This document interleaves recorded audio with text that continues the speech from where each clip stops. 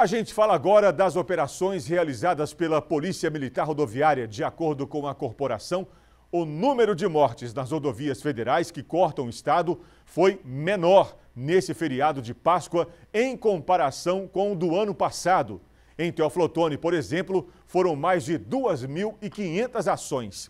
Quem vai falar desse caso para a gente é o repórter Sávio Scarabelli, ao vivo. Sávio, boa noite para você. Oi, Saulo. Boa noite para você, boa noite para os amigos que nos acompanham aqui no MG Record.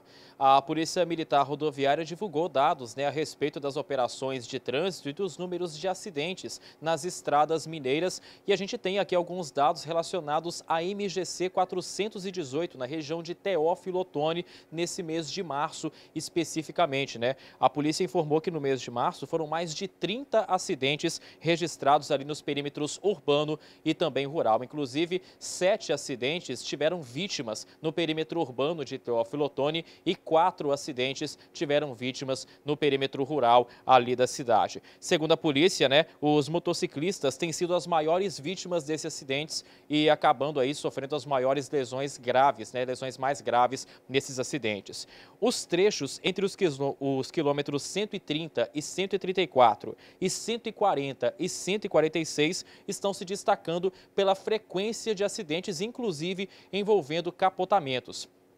A polícia lembra ainda que muitos motoristas acabam se envolvendo em acidentes ali na região da MGC 418 por não conhecerem o traçado da pista, cheio de curvas, e que por isso é, esse número acaba sendo um pouco mais elevado, especialmente nos períodos de feriado.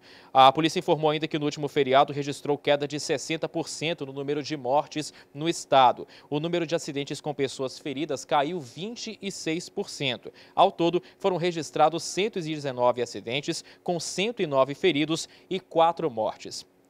A Polícia Rodoviária Federal informou que 213 veículos foram recolhidos por irregularidades no estado e também foram registradas mais de 2.900 infrações por excesso de velocidade. Além disso, 732 pessoas foram flagradas conduzindo veículos sem o cinto de segurança e 144 motoristas foram autuados por dirigir sob efeito de álcool. Desses, 12 foram presos por embriaguez ao volante e a Polícia Rodoviária informou ainda é que 24 pessoas foram detidas por crimes e sete veículos furtados ou roubados foram recuperados durante as operações no feriado prolongado aqui no estado de Minas Gerais.